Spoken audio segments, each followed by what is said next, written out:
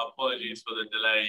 Um, we should it through better. But um, I think the last presentation was, was excellent and it was very convenient for us as well, especially because it ended on the note of um, being an entrepreneur, innovating, doing something that's different, Gen Z, etc.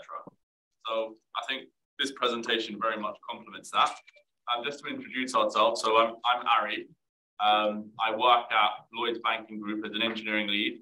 Uh, and I've been in the, the kind of engineering, software engineering space for seven or eight years now. I also do an executive MBA at Henley Business School. And I'm just wrapping up the, the kind of final elements of that, doing my dissertation. So hopefully I should be graduating soon, which is very exciting. Um, and the final thing that I'm focused on is Typr AI, which is um, an artificial intelligence backed uh, content creation tool. And it's a startup. And it's something we've been working on uh, the last year or so. We're just taking it to market. Uh, we've, we've, we've, gone live in the last couple of weeks, so it's, it's very exciting for us. Uh, this is my co-founder. You want to introduce yourself? Of course. So, hi guys, I'm Malvin. Um, as I said, um, I realized, you know, we're here with the gatekeepers today, so we're going to be very quick. Um, I'll do a very brief introduction. So, I have a law background. I've done a law degree um, and transitioned into commercial banking and transitioned into tech. So, um, very varied there. Um, currently working on Typr with Ari as one of the co-founders. Um, and I'd just like to say some of the presentations today have been fantastic. Uh, in particular, the presentation with Ukraine, um, I applied a legislative sort of scope on it, so how the UK is dealing with it. Um, the, the, the, previous presentation before us, that was amazing. The presentation, presentation skills are amazing. They're really well done. Yeah. Um, what we'll do today is we'll take you through sort of what is AI very briefly. Um, otherwise, we'll be here all day. Um, and then what is Typr, what are we really doing, and how, what, why are we here? So what are we doing here? And how can we help you? Yeah, sure. So to keep things very simple, this is a very busy slide. Um, by all means, if you're interested in AI, you can digest this in your own time. Essentially, it's, um, it's technology focused on computer science, engineering, that is a system that can analyze, uh, read, understand, interpret, act, and adapt. So typically AI has helped us uh, in recent years do things that would otherwise require human interaction. There are varying different types of AI, um, different levels of sophistication. And the three that we've, we've listed here, the, the more kind of common ones are reactive machines, limited memory AI, and theory of mind AI. Typr, which we haven't explained yet, but we'll get to, is reactive machines. It essentially works on input and output. So you give it some information, you give an instruction, and then it will act on that instruction on your behalf. Um, limited memory and theory of mind is essentially a, a, more sophisticated version of that, where it stores the outputs, it stores the data, and it's able to give you smart insights on the back of that data, or it's able to, uh, as I said before, kind of learn, adapt, and think more like humans. And examples of that are things like self-driving cars. So if you drive, uh, if, if, you've got a Tesla, some of you, they have uh, self-driving features, and if you if you drive them around, it can learn from your driving activity. It can learn your routes and then drive by itself. So it's it's implementing learning on the back of data it's uh, it's collected. So without going into that too much, because that could be a whole conference in itself, we're here to talk to you about Typr, which is an innovative new tool, um, and it's probably one of the, the kind of first startups that is, is kind of more focused in the academic space. Uh, and Mal is going to talk you through that. So where did the idea behind Typr begin? Um, Ari and I working in tech tend to sort of, uh, write a lot of content, uh, create a lot of um, articles, research papers, etc. And um, we were looking online, you know, there's nothing there. We have to do a lot of research, a lot of time is spent on the admin side of things, right? So we realized what can we do to ease this? Um, and um, being surrounded with sort of he's doing an MBA. I've come from a law background. Um, we have a lot of academics around us. We thought that's a very um, really good sector for us to focus on, a really good industry. Um, Typr is actually underpinned by um, the artificial, artificial Research Laboratory. Um, that's considered a competitor to Google's DeepMind, and it's also funded by Elon Musk, um, Sam Altman, and Microsoft. So we're not funded by uh, Elon Musk, unfortunately, but the technology that underpins us is. Um, so instead of me going through it, what we'll do is we'll show you a demo, so exactly how it works. Uh, we're gonna log in and we'll take you guys through it as well. Okay, Uh, this is this is the landing page for Typr. It's not an application that you can access on um, iOS or anything like that. It's just a web front end. Because we've just uh, launched, we're very much in the, the kind of validation phase. So we're looking to, this is minimal viable proposition. We're looking to get a lot of feedback. We're looking to understand the use cases in a bit more depth um, and essentially improve upon the product, which is one of the reasons why we're here. We're talking to a room full of, of academics and, you know, hopefully we can get some insight from all of you uh, into how this can help with your day-to-day -day activity. So there are simply five templates here. Um, at the moment, we've got blog, essay, report, academic article, and research proposal. Um, it doesn't need to be used for these tem templates. Ultimately, it can be used for anything that involves generating content or writing. That, for now, for, for and to just help the user with the of things we can help with, with created templates. Um, it's quite simple. So as I said before its input output. So we've had a presentation today on uh, the, the Ukraine-Russia war. So if I was to give it an, in, uh, an input to say, what is the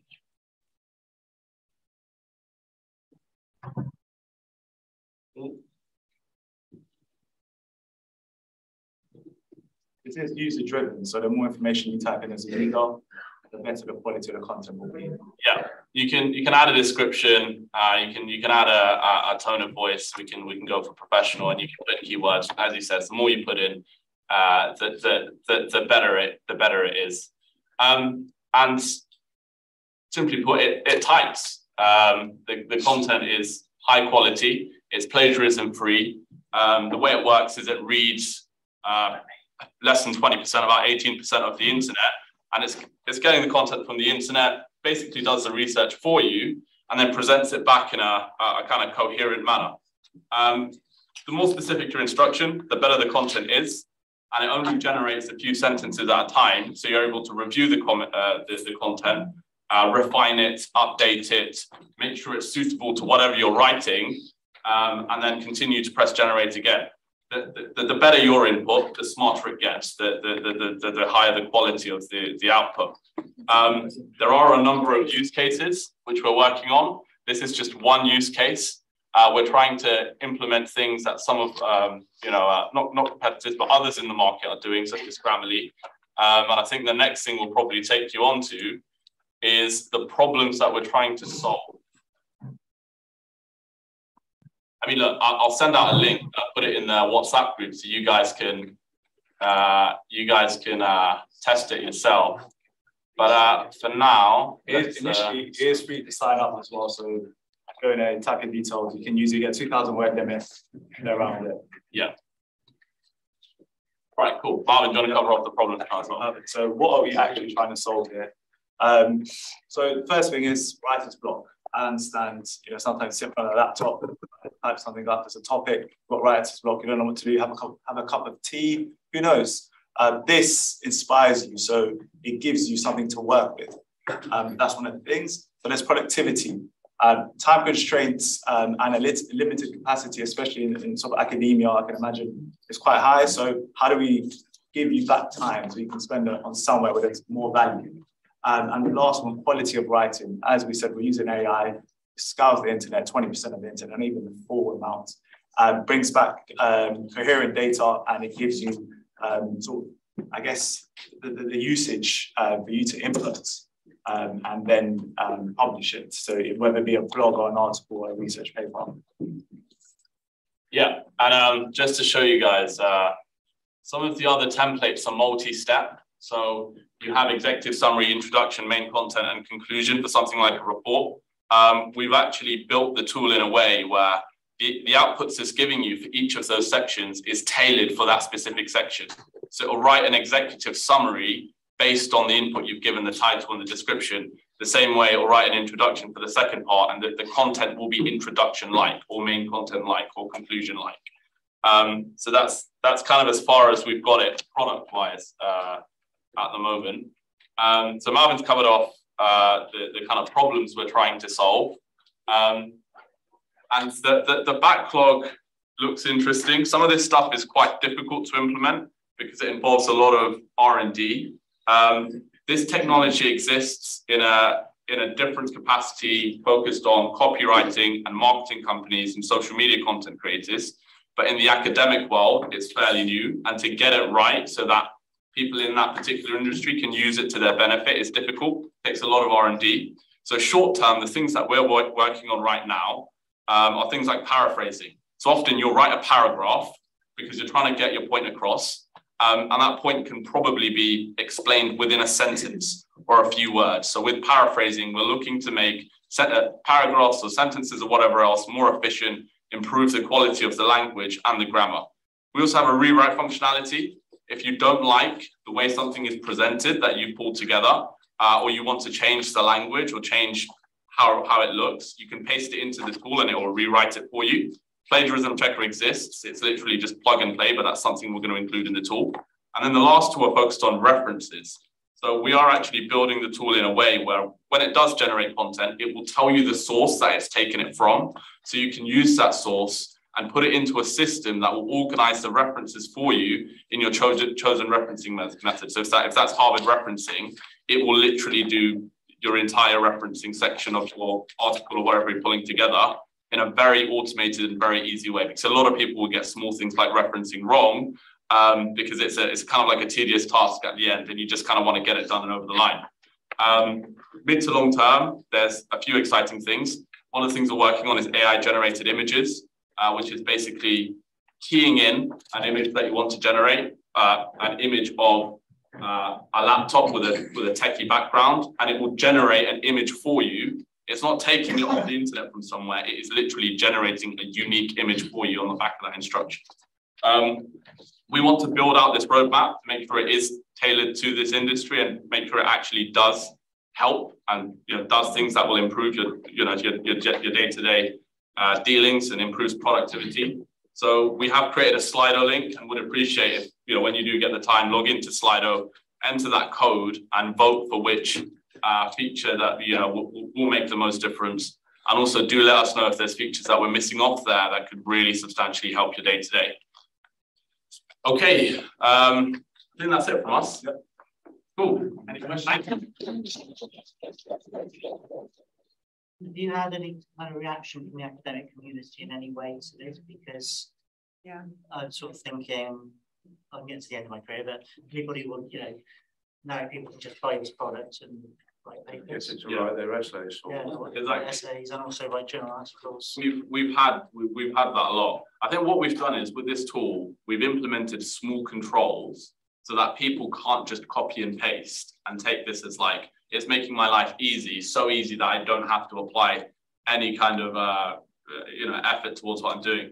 When you press generate, it'll only generate a sentence at a time, and it the, the reason why it does that is it wants you to interact. The information there is simply for inspiration purposes. It's to give you ideas around what to write. It's to help you defeat writer's block. It's to help you get past that initial stage so you can get going and you can get some momentum. And I think going forward, we can't avoid technologies like this being brought out to market. But what we are trying to do is we're trying to work with the academic community to make sure it's brought to market in the safest possible way and in a way that's productive to the, the lecturers, to, to whoever's governing it, and it's productive to the students themselves, right? We don't want this tech to be a cheat code. We want it to actually work in a positive way that helps people, right? Because technology all around us is making life easier. What would take two hours before now takes 10 minutes. And this is a similar thing, but how can we, you know, how can we work with it in a way that's actually productive and not counterproductive? So